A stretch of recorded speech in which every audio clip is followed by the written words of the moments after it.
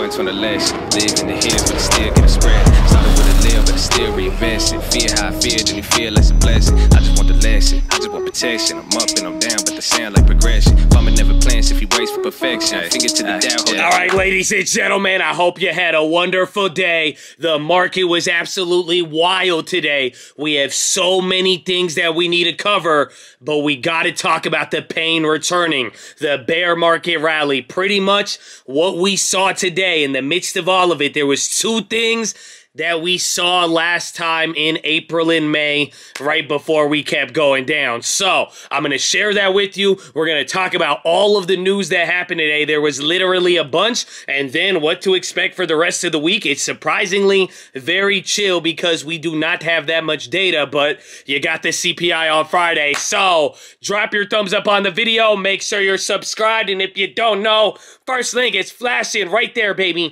YouTube.com slash the stock market. Hopefully we see you there for the stream. And I got to change real quick. I don't know if you, I wanted you to see this because I told you how I eat sometimes. Bro, it looked like I got attacked by a raccoon. I don't know if you see it. The camera's actually making it look good. So, yeah, hold on.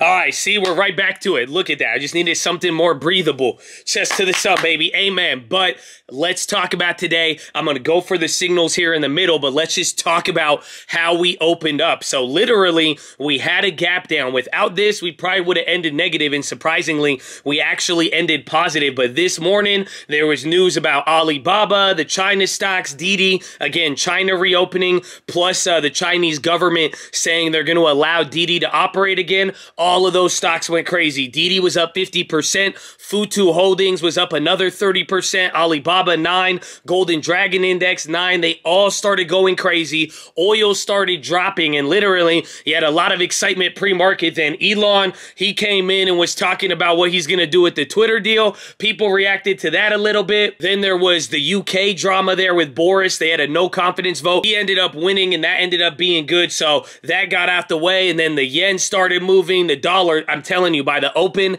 there was so many things. A lot of uh, of the economies that were closed last week, they reopened. People were feeling very excited. U.S. stocks, everything got bid up. There was nothing in the red. And then by the middle of the day, or like pretty much after the first hour, we didn't get past that like 416. We just started dropping, and then more news kept coming out. We had the Apple Developer Conference. They were saying a bunch of different things related to like no more passwords, new computer chips. Uh, you could unsend text messages, and then they didn't mention everything about anything about privacy, and that's been killing Facebook and Snapchat. Those stocks rocketed up after no announcement, but we were getting all of that news throughout the day. Then you had the SEC by the end of the day saying that they're coming out with a bunch of uh, new changes by fall, which are pretty much make Robinhood kind of obsolete, believe it or not, where it would be almost impossible now to front run trades. So this is a big deal. Virtu and Robinhood, they reacted to that. We even heard the Texas General, the Attorney General, he is actually investigating Twitter now and their bots and pretty much all of this news was happening throughout the day, but most of the reaction came in the morning off of one thing. And then once we hit the lows, we kind of stayed calm. So a lot of different things, a lot of news, literally from the UK to China to what we're dealing with. Oh, and then also Biden, solar tariffs as well. He said, or he's going to do the Defense Production Act, eliminate solar tariffs for two years. Some people weren't actually happy with it, but we'll see how it plays out. But I'm telling you, we woke up to a bunch of stuff in the morning, but then a lot of people got confused by this little drop right here. So why did this happen? What were the two other things? And why are they important? And why could they be signaling signaling that the bear market rally is actually still very much in play bonds and the Japanese yen. So let's start here with bonds. Again, here's the 10 year, and what you'll notice, we are back above 3%. And if you actually take a look there, there's not too many times we were. If there was any other time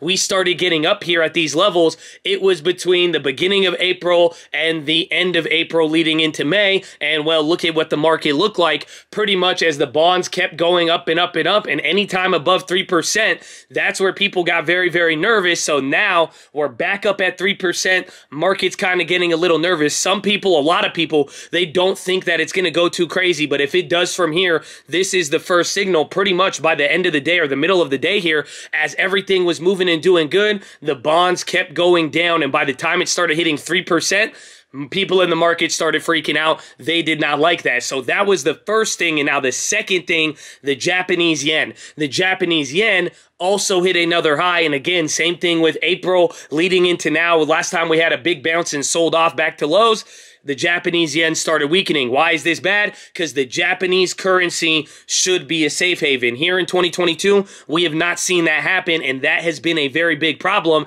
And now it's going back up again. This could be signaling global inflation. It is just not good at all. But now, both of these things, and then pretty much the strength of the dollar, this is something we keep bringing up. If you want to see, uh, I guess, the short term stability in the market, pretty much we have not been able to really bounce without the dollar really declining. If the dollar goes up, the market's probably going to stay down or stay volatile. And that's exactly what we saw here today. So tomorrow, you're going to get the trade balance. Friday, we get the data. But this is what I would be watching towards the end of the week. It's going to be quiet. We're getting a lot of back and forth. There was also good news with chip makers and the cars and all that. Again, there was a ton of news today, but the reaction got a little weird and it kind of uh, brings us back to what we saw in the beginning of the year where the market wants to see what bonds are doing. They want to see what other countries are doing. And then that is going to have more influence or dictate what the Fed is going to do and how we are going to interpret our data. So all of that happened today. Those were the big things. Don't forget about the dollar.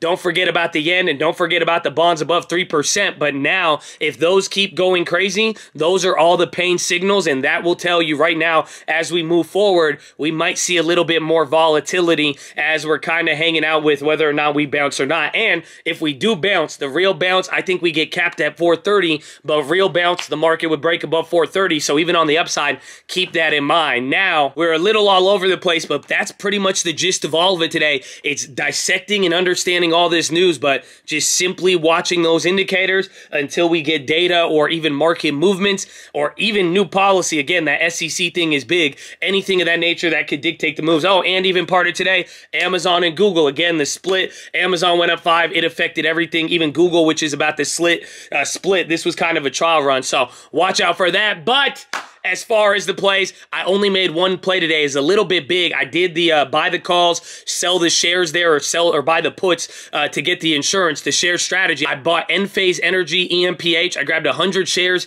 at like uh, 113 or 213, and then I grabbed two of the 185 puts for June, a little bit less on time for 270. These were expensive. Uh, I'm just glad that it's a utility and the play can move a lot, but I did buy it a little too high. We ended up negative throughout the day. Insurance didn't do much, but I will be looking to grab more. Pretty much, I like this solar news. I would definitely be watching out for that, but I do think it'll be volatile. But if it relates to energy and what's going on here, I think it could be a good one. But that was the first play. The other plays I made, I sold out of the Pinduoduo. Duo so remember, this was also the share strategy. I bought 100 shares of Pinduoduo. Then I grabbed a bunch of the puts. And remember, I got a bunch of insurance. Well, I spent about $500 there on the insurance. The stock kept going crazy with the China news today. I closed out of the shares for $1,300 profit minus the 500 we spent on insurance because if that expires worthless, I have nothing. I'm still holding the puts, but pretty much now, no matter what, we are going to be walking away with $800 realized. Close out of that one. And then I closed out of the CVE for December. We bought these a while ago. They were up 150%, sold three out of five contracts, made it free. And then we also had this UNG. If you remember, the first UNG,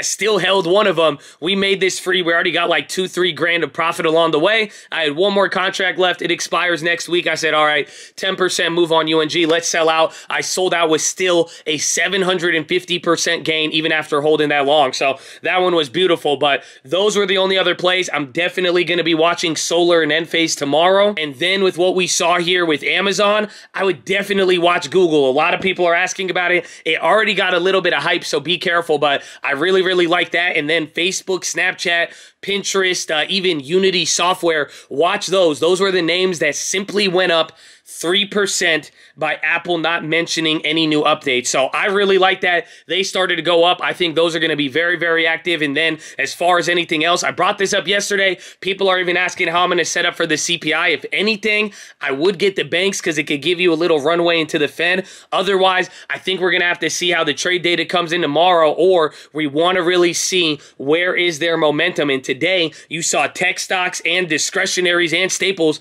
they were all down. It really wasn't that good. If anything, materials went up and then commodities, Bloomberg Commodity Index hitting new record highs. So we'll see if that one comes back. Again, we still are waiting for that mini peak here as we get into the rest of summer. But other than that, it's watching the momentum, seeing how we develop, and then making our plays from there, and then utilizing this share strategy because the premiums are still crazy. So that's pretty much it. Very straightforward. Again, we're not getting a lot of data, but what I saw today, there's probably going to be a lot of news. We're going to wait for it. It's going to affect a lot of industries, and then we'll see if there's any data or how people feel coming into the Fed next week. So I hope you're ready, but.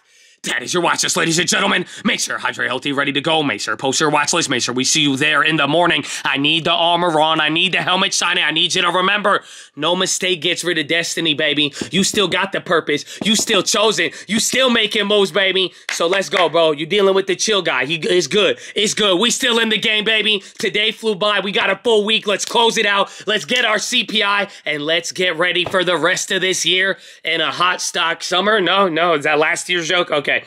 All right. I love you, Chad Case. Drink water. Okay. I, I, messed it up a little. I love you, though. And I love the outro. And, and a, hun- a little effort will go a long way, Chad. Okay, I love you. I'm sorry. I don't mean to yell at you. I love you. It's love, bro. So pray for me. I'm gonna pray for you, and I'll see you in the morning. Let's get it, baby. Okay, you got it. You got. It. I'm good. No, you you X out. You like the video. You stop. Stop. Seriously, like the video, bro. Why are you playing with me? Just like it. I know you see this. I know you hear me. Like the video. You even made it this far and you ain't like the video, bro. Come on. I know there's more than 400 of you. Come on.